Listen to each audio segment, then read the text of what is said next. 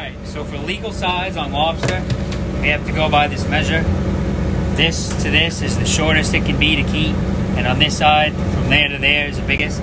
It's three and a quarter inches, that's five. So what you have to do is put this in the bottom of the eye socket. It doesn't hurt the eye at all, they move it. And if the measure goes down over the back, which it does, that means it's too short. So I'm gonna throw that one back. Same thing with this one, put it over the eye socket, and if it goes up on the shell, that means it's big enough we can keep.